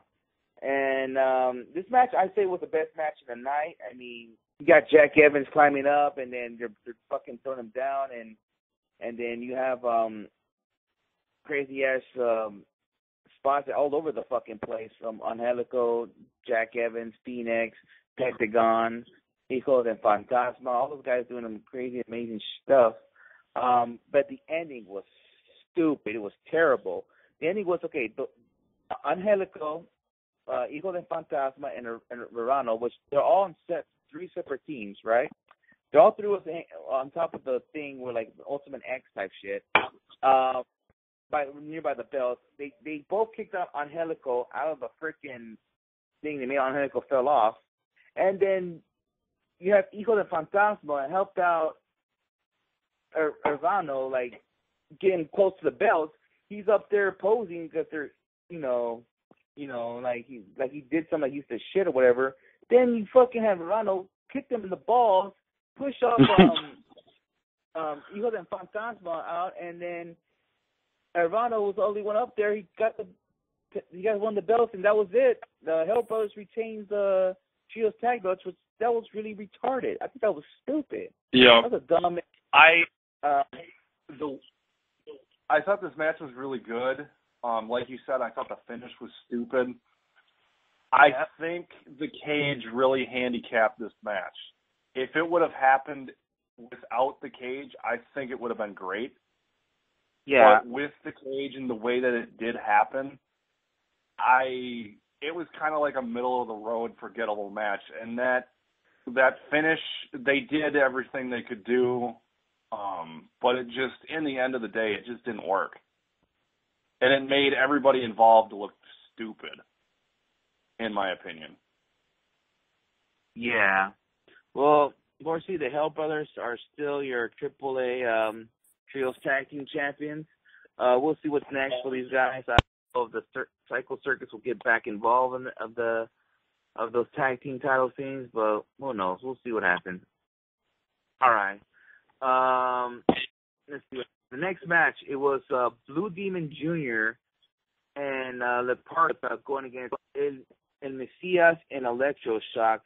Once again, um, I think this match was actually better than I, I expected. I thought this was gonna be another slow paced match, but um, the Parka and and uh, Blue Demon. Well, Blue Demon actually moved quicker than I saw on those shows at, at La Lucha Underground in this match. Um, I mean, they did a couple of things like uh, the the Parka with a turtle wood backbreaker out of Mesías. Um, then you had uh, they pretty much. I felt like La Parka and Blue Demon pretty much um um took over the match of these guys, even though Mesías and Electroshock are pretty much younger than those two legendary guys. And the Parker could still move, he could still dance around like he did in WCW back in the day. Um but it was pretty good. I mean I it was better than um I, I expected. Um and then uh uh, and the Parker could still dive. He dives over um on the Mesías on the floor. Um the Parker I don't know how old is he, but he's still flying around. That's kinda crazy. But uh Is it, I got a question for you regarding La Parka. Is it the same La Parka that was in yeah. WCW, or is it the yeah, it's the La Parka? same La Parka. Because, well, because I, for some reason, I got, I remember hearing a long time ago that La Parka is now a different guy, and that the original La Parka that was in WCW is now goes by LA Park, and that's why Nah. I asked. No, I don't think so. LA Park is um from CMLL, that guy, right? You talking about? Yeah. Nah, it's the same Parker from uh, WCW. Bro. I, I don't believe Okay. that at one point. LA Park is some other dude. It's like almost okay. he's like almost like a um how can I say this? Um for all the like Lucha Libre guys, I don't wanna don't rub it the wrong way, but LA Park is almost like a freaking um almost like a parody of La Parka, but he's a little different. Maybe he's more like an evil La Parka, you know? That's I that's I don't know if that's the best way I can say it, but that's how he is. Um, but that that the Parka you saw in um last night in Triple A is the same La Parka from WCW. And, Okay. Yeah.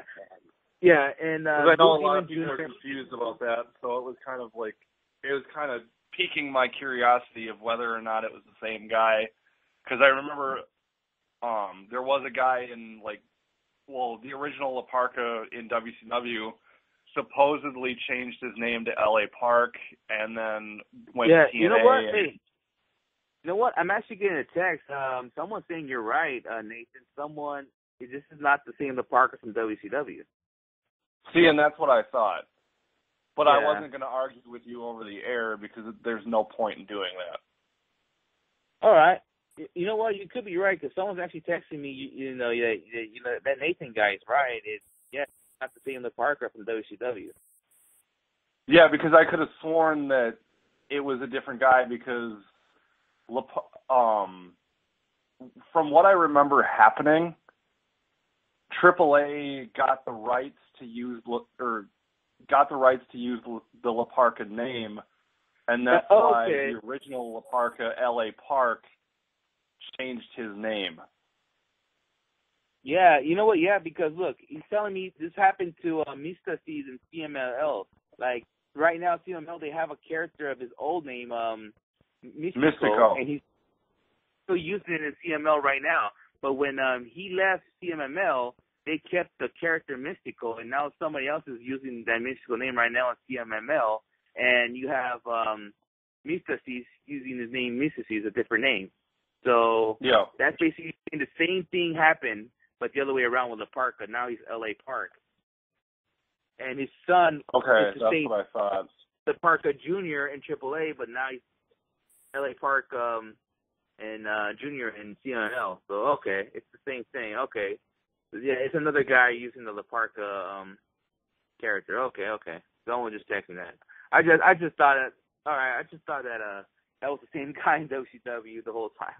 All no, right, it's not a big deal. Yeah. All right. Well, Blue Demon and La Parka won the match, and uh yeah, that's uh that's there you go right there. All right.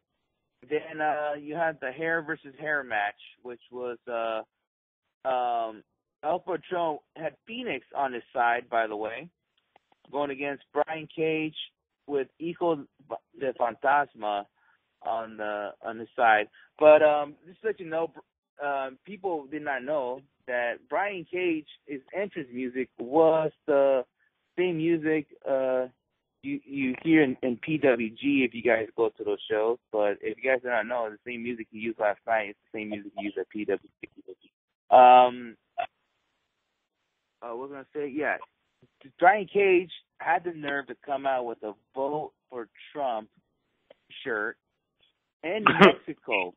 That's that's like the total no no there because right now Mexico is calling for Donald Trump's head right now out there. Um, but yeah, he came out with the balls wearing that shirt, vote for Trump. Um, and he had uh, he called that Fantasma waving the American flag in the background. Um, th- this match was pretty good. It got a little brutal. Um, El Patron was actually busted open in the match. Um, it, they, they went all over the place um, between the two, and um, unfortunately, you know, there was also interfer- interference on Hijo de Fantasma and um, and Fénix, but unfortunately, El Patron uh, beat armbar, and um, Brian Cage lost the match, so he, they had to shave his head, and uh, he's bald, and now he has my hairdo. Um, um, Dave, what do you thought about that? Um, I thought it was good. Uh, when when I told you that this match was just a hair versus hair match and not um Yeah. the title, I remember you were thrown off and like come to think about it, I was too because it's like if you are doing your best or your biggest show of the year and you're on US paper or US and Canadian pay per view, you would think that the title would be on the line. Um, with that said, I have a feeling that since El Patron won this match, that they will probably end up having a rematch for the title, um, where it's po- quite a possibility that Brian Cage could win, because that to me seems where it's going, unless this match was meant to be the blow off of the entire feud. And if it was, that's fine, but I don't know where both these guys will go after that. You Yeah, I you know mean? what? It will make more sense if this is going the, for a third match and Brian Cage wins the title next time. Because if they have Brian Cage lose again to El Patron, this kind of makes Brian Cage look weak. I mean, I'm Yeah. confident if, if the ne- the next tapings Brian Cage goes nuts. Like we, he has to change his character a bit, like kind of like his Lucha Underground character. Where he's a guy. He's like he destroys people. I mean, not the whole Brian Cage you see in AAA, which he's rubbing the Mexicans the wrong way with the fucking America thing. You know, Donald Trump, all that shit. He's happy to be American. Screw Mexico, all that crap. He has to stop that and and become like a monster. And that that leads him to, I mean, that that that will make me think, okay, he's gonna beat Patron and win the title.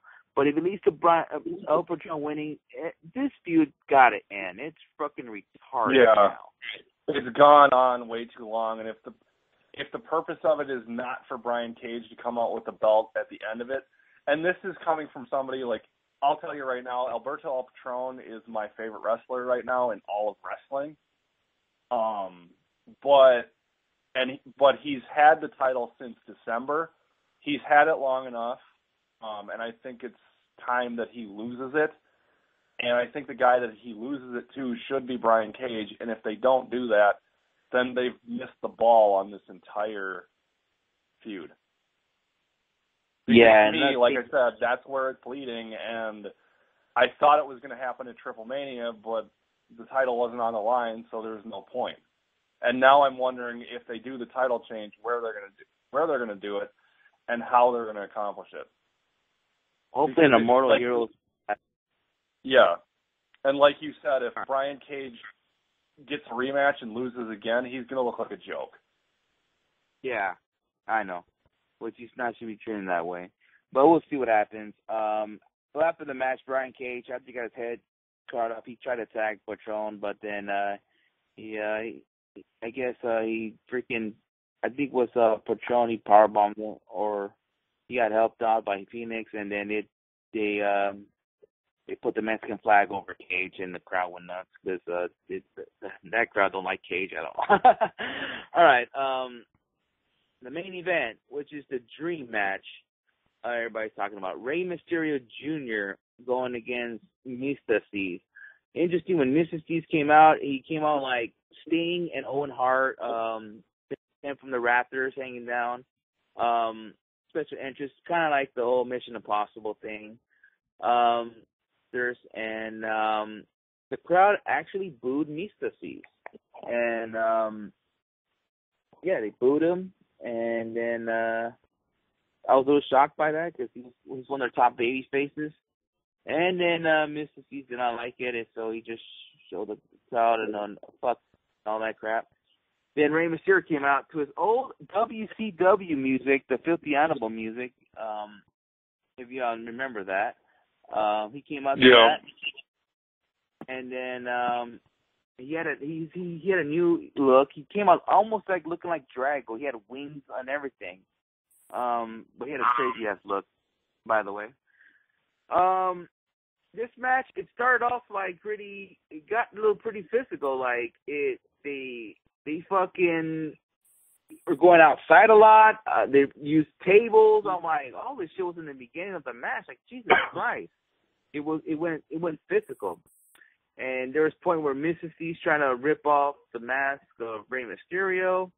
Um, Myzteziz got so Ray nailed Myzteziz on the on the pole. Mrs. C was bleeding. You could see the blood through the through his mask. Um, I mean, it it it was match was okay. Myzteziz actually powerbombed Ray to to the table, the English table, but um, but the table did not break and then um then more back in the ring. Um Mrs. Mrs. got hit with a turnbuckle on the bomb by Rey Mysterio and then uh then finally you have Rey Mysterio winning the match um via submission though. And uh With La Mística. La Mística, He yeah. used- And yeah, he used uh, Mr. Own finisher against him. He used his own finisher against uh. C's and uh yeah, he gave up and uh Rey Mysterio won the match. And then interesting you had um on Junior Alvaro and Joe Líder came out and attacked both of them. And uh and with the staple gun and then. C actually fought back he took the staple gun from uh Joe Líder and he and he used the staple gun all over them. And then um Ray and um Mrs. C's came on the ring, and then uh, I think Ray was trying to uh, um, oh, raise his hand, but then Myzteziz just pretty much turned on him. He spit like something on his face, and he blinded Mysterio, and then he grabbed the mic and he just cussed out the fans, and he was disappointed by booing him and all this stuff, and then you got. And you guys cheered for him, so he felt like he got betrayed by the fans because Rey Mysterio's returned to AAA and then um he attacked Ray outside the ring and he challenged Ray for for a rematch, but this time mask versus mask. And then um the feed got kind of cut, but I I I don't know if you heard Ben, but did Mrs. C's join that group with uh Pentagon, Averno, and and Jolito, the Battles and Miles group? Did did that happen? Um, from what I read, it did, but it just said that like a lot of people were pissed off because before it, we got to see it, that's when the pay per view cut out. Yeah.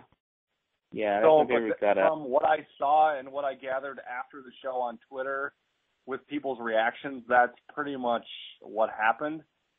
Um, because it wouldn't make any sense to me if he was a heel, if Myzteziz was just a heel without those guys, given that those guys were in the ring. Yeah, and what tripped me out that you know, Averno and Mrs. Are freaking are are arch rivals, and looks like Mrs. Is part of that group now. You know, that's the little group called Perros del Mal, and Konnan's like a little manager there, and um, yeah, so that's pretty much what happens in the end. He just betrays Rey Mysterio. Um, Nathan, what you thought about that match in Ray and uh and Mrs. The dream match? Um, we were talking about? That match, I think I liked it a little bit more than you did because that was the whole reason that I ordered the pay per view. The last two matches were, and that match more than delivered for me. Um, it was. I wouldn't say it was the best match on the show, but it was probably my favorite just because my expectations were so high. And normally, when my expectations are that high, I'm disappointed by being let down because the match didn't necessarily reach my ex- expectations. But for the billing that it was given, that it was a dream match and everything, I thought it was just fine. Um, the only issue that I may have had is that I thought that Rey Mysterio, if he was going to win, should have won with his own finisher instead of Myzteziz's finisher. Um, but otherwise, I thought it was a fine match, and I enjoyed the hell out of it. So All right. I can't complain too much about it. And I know, like I've I've read reports, I've read reviews about the show because I wanted to get an overall consensus about what people thought, and a lot of people either loved or hated that match. Yeah, I heard it was fifty fifty between that. I mean, between the, that match, but well, we'll see. But uh we'll see if they get that rematch, um, match versus match match. If anything, will happen part in Immortal Heroes on October fourth, and we'll see if that goes on pay per view. All right, well, let's take another commercial break, and uh when we come back, I'm gonna talk about the time I was in a Q&A with uh, Chris DeJoseph of Lucha Underground. I'm to explain what he said if he didn't Periscope last night, yesterday, not last night, but yesterday. Um, what he's, what's the future of Lucha, and then um, maybe I'll give the thoughts to Tom and Nathan. What's their thoughts about it? All right, well, we'll be right back. This is Ring of Honor superstar Nigel McGuinness, and you are listening to Wrestling Heads Radio Show. So stay tuned, you wankers. Hey, this is Ray Rosas. And PPA all day, the biggest man in professional wrestling, pretty Peter Avalon. And, we you're are P. P. Ray. I love it. I love it. God, your voice is majestic. and you are listening to Wrestling Heads R- R- R- R- You got this one. Radio. Hey, this is Kyle O'Reilly and Bobby Fish, Red Dragon. Ring of Honor World Tag Team Champions. We just happen to be the best tag team on planet Earth, and you are listening to Wrestling Heads Radio. Yeah. Um, welcome back to Wrestling Heads Radio. I got a little message for skits, and here you go, man.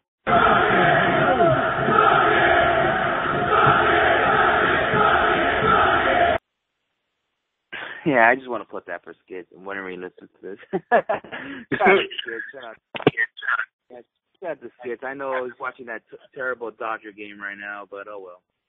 Um, all right. Last yesterday, me and Skits were at the Wrestling Guy store, and we had a Q and A with Lucha Underground's um, Joseph. With I, I which I admit, I was a little disappointed because he, he's like a he's one of the head guys in Lucha Underground, and still he gave us no answer when season two will begin. He only says possibly um in September, October they'll start filming. But I was expecting maybe he'll give us a, finally an answer, but did not happen. But he came out with, a couple of things. One, he's he is planning to um release action figures for Lucha Underground. Which would be pretty, pretty cool. Um, two, the rumor about them moving to Texas is not true. They still want to have it here in LA. Um, so I mean, the fan base and all that, it's still there. He still wants to bring in the fans for free. I mean, I mean, he was he's not gonna go that way for charging. He doesn't want to go that route. Um, he also admit that a couple of interesting stories, like when he was in the WWE, the original idea was seeing the Raw GM thing. The the it's supposed to be Triple H, but it never happened. Um, he did admit that the whole um, Vince Son thing was supposed to be uh, Mr. Kennedy, but then Kennedy and Vince McMahon had some heat, and they changed it to Hornswoggle instead. Um, and he did mention um, for season two, he is planning to bring in the Psycho Circus, but it won't be the same characters you see him in um, AAA. So he said they're gonna tweak him out a bit. So maybe we'll see him as heels probably in Lucha Underground, maybe like badass heels out there. Um, but that's and that's um and playing main. Also, I mentioned to him about Rey Mysterio possibly coming to Lucha Underground because the end of the of you the last episode, you noticed the question mark thing. I I told him that I that's the same question mark I saw in one of his titles. Rey Mysterio coming in, he had a look like uh no, I'm not sure. I don't know. Like he had a that he's like one of those looks like you you know it. He's coming. He's just bullshitting, you know.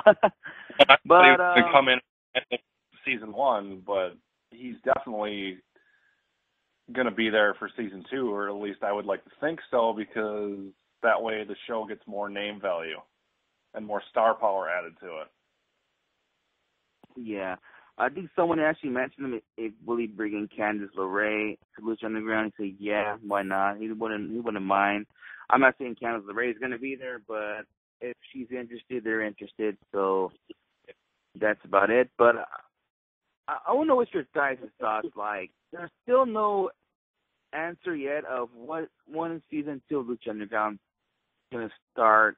I mean, I don't know. What's your guys' thoughts? Like, I know you guys want to see it, but come coming out from a guy who's like in charge, uh, or one of the head guys of Lucha Underground, still don't know the, you know, when they're gonna start coming. Like, like, what, what's your guys' thoughts of all that?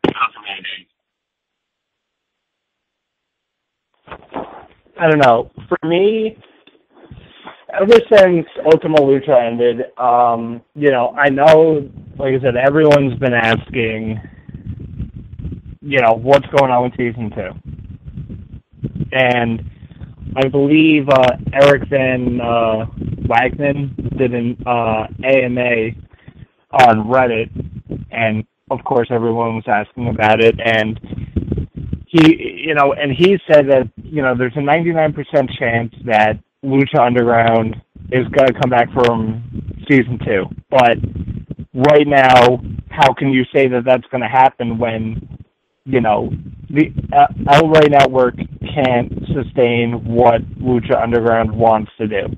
Um, you know, also in that AMA, you know, people were talking about how Lucha Underground reportedly spent like twenty million dollars. He said that wasn't true. Um, they said they did spend a lot of money, but not twenty million dollars. Um, but we just we don't know what's going to happen with Lucha Underground. Where is it going to go? Um, you know, there were people on Twitter tweeting to Netflix uh, that Netflix should pick up Lucha Underground because that would definitely be a great outlet for Lucha Underground to provide on because you're reaching everybody. You're reaching people all across the world, and everybody even- can access Netflix.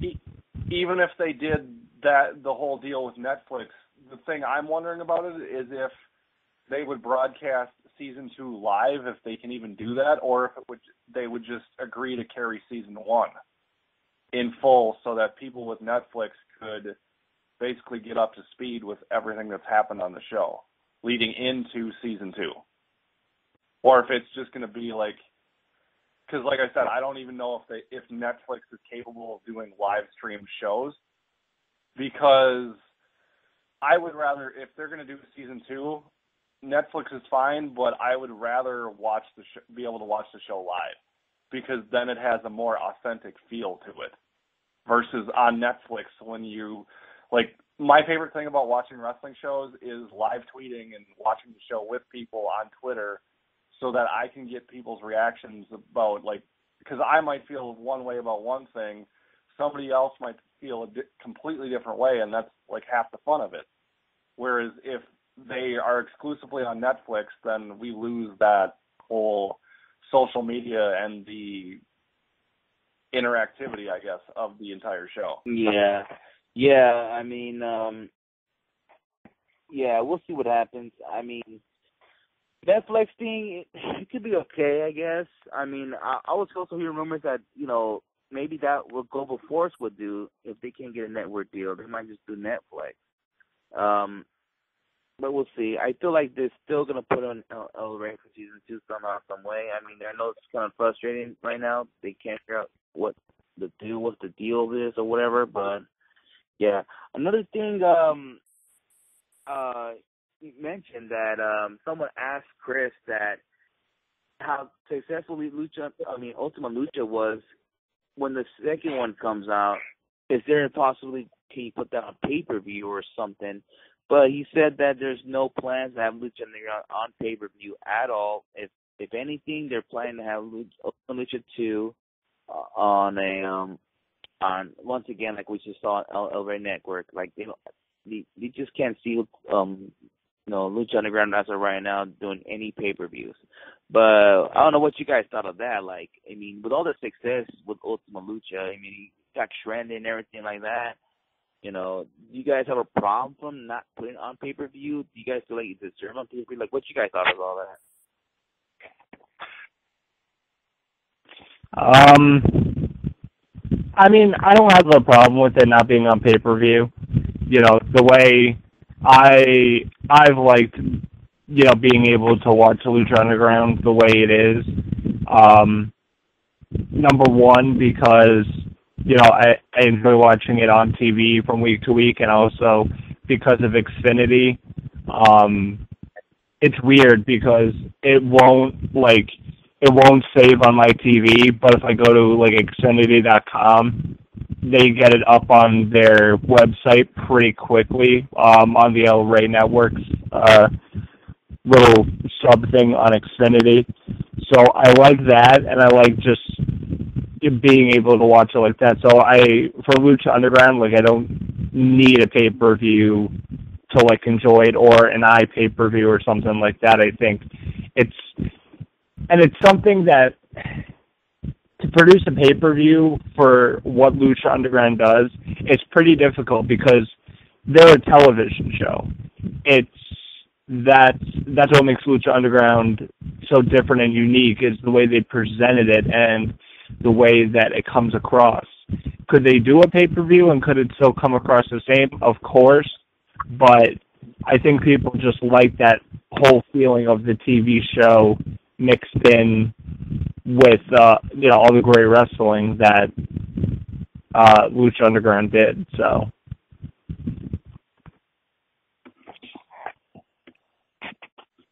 Yeah, definitely. Uh, Nathan, you got a comment on that? Um, what was the question again? Sorry, I lost my train of thought. No, uh, no. Asking about when I asked, uh, someone asked Chris DeJoseph about like, if the lot of success of Ultima Lucha, will Ultima Lucha do be on pay per view? Like, should they go that route? But he answered saying they Okay. don't believe they will go that route. They're just going to be the same thing, be on free TV. Like, did you feel like should it be on pay per view, or you don't mind being on free, or what's your thoughts of all that? I'm fine with it being on free TV because if you're gonna put it on um if you're gonna put it on pay per view, I don't think you're gonna get you're not gonna garner too many buys because not too many people are gonna take a chance on it if they haven't like because some people are like, oh, I didn't see like this show or this show, so I'm not going to understand what's going on. So you might have some of those people that don't want to order it because they're not fully caught up, so they might not understand what's going on completely. So I think leaving it on the El Rey network, if they're going to do a season two and they're going to have a Ultima Lucha two, um, they should do it the exact same way that they did it for season one. All right, all right. Well, um, Um, I was, I just wanted to add the only thing I would try to do differently is maybe not. I don't know if it's, this is avoidable or if they can even do it, but Ultima Lucha the tapings took place um a couple months prior to the airing of the actual show, and Yeah. spoilers were all over the internet. And I'm wondering if there's a way, there is a way that they can prevent that from happening so that people aren't spoiled going into it. I wasn't spoiled because I was able to avoid all that stuff, but not everybody was like me and was able to avoid it. well, they tr- uh, going to those tapings. I mean, they try their hardest, you know, not to have someone take out their cell phones. Like I remember, dur- even like during the intermission, I was just like texting somebody. The, one of the security guards came to me and they told me to put it away. I was like, dude, we're in intermission. I don't care. Put it away. Their fucking security guys are fucking like, they're fucking um strict. I'll tell you that right now. They they fucking get so mad it was like pretty much no phones at all. Like no, No phones at all. Don't all. stick it out. You couldn't, They don't want no you pictures. couldn't live no, tweet anything or anything. No, nothing. No, nothing. Nothing, bro. They don't want to see no phones out there, or, or they'll kick you out. That's how it is out there. Wow. So, so if anything's gonna be spoiled, whoever's at the show has to have a real good memory, and then post up later on. That's how they do it out there. Okay. All right. We'll see what happens in Lucha Underground. I mean, there's all these rumors just came out today that Triple A no, negotiating with with El Rey, maybe putting Triple A on on the on the network, but we'll see. But if, if they ever come up with a deal, uh, holy shit, that's all I gotta say.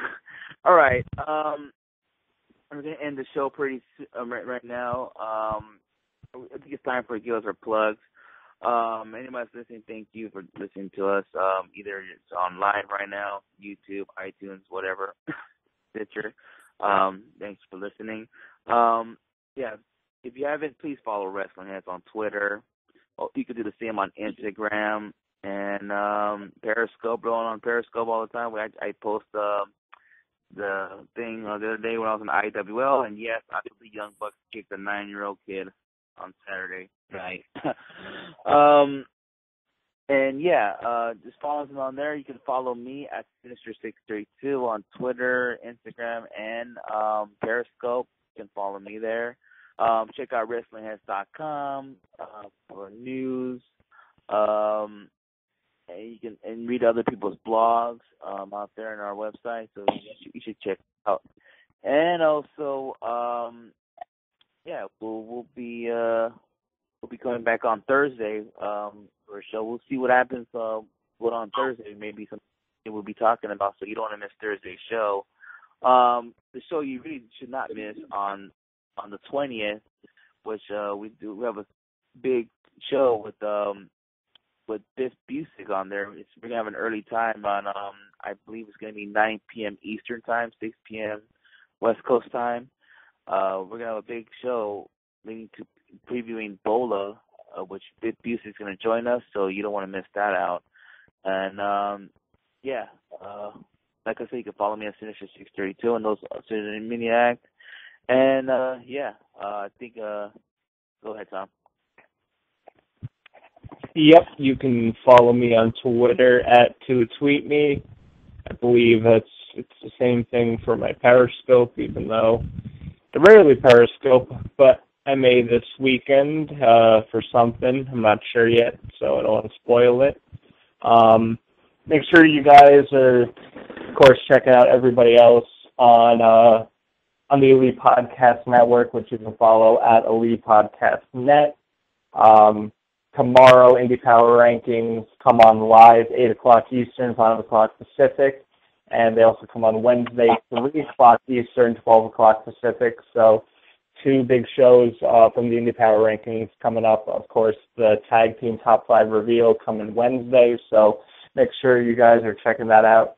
Um, Uncle Mike and Tom show, uh, they're going to be dropping uh, a new show Thursday, probably same day as I don't know when exactly, but probably sometime before Wrestling Heads goes live on the air. So uh, make sure you check them out. Beyond the three count, um, and of course, Eyes on the Ring, which Nathan will get to, and make sure you guys are going and checking out as much uh, as much alternative as wrestling as uh, as you can. You know, because we've been talking about AAA and Lucha Underground, I think a lot tonight, and it's always important to go out check out the indies. You know, whatever whatever you do, ROHWrestling.com. Ring of Honor's got a bunch of big stuff coming up. Um, they have another pay per view, you know, coming up in September, which you know we're we're obviously going to be talking a lot about once it gets closer. But they have their big show uh, Field of Honor next week, which we'll probably talk about as well. Um, SmartMarkVideo.com, HighSpots.com. AAW just released an, uh, a streaming service as well, and they are offering it with a special code if you go to their Twitter at AAW Wrestling, four ninety nine a month. So you get that for a couple months, so five bucks a month. AAW, you know, they've been putting on great shows for years, from what I've heard. You know, guys like uh, Seth Rollins and everybody who's come from there, and even their shows today I've heard are really good. So make sure you're checking that out. And I'll pass it on to Nathan, and he can talk more about Eyes on the Ring because uh, what what was up in the show yesterday, man? Um, I don't know. I just got a I just got a tweet from True God Immortal saying that there was no show last night. Um, so I don't know what the full deal and full story of that was. Um, he might have just not have been able to do it. We are planning to possibly reconvene on Friday night. So, and if that is the case, I am working, so I will probably not be able to be on. I'll be able to be on the show, but it won't be right away per the usual. So, because I got to get home first and then eat something, and then I'll probably call in and then just do whatever. But um, so yeah, we had no show this Sunday. We're hoping to do one on Friday. If we don't do one on Friday, then it's just we skip a week and then we go to um next Sunday. Um but you can follow me on Twitter at headliner5. Of course, go to eyesonthering.com. Follow Eyes on the Ring on Twitter at Eyes on the Ring and just uh, keep in line with what Eyes on the Ring is doing, what Wrestling Heads is doing, and just make sure to catch everything that everyone from the Elite Podcast is doing, or the Elite Podcast Network is doing, because we put out stuff like no other, and you won't get the coverage that you get from us anywhere else. Yeah, definitely. All right, guys. Um, I guess until Thursday, we are out. All right. Peace.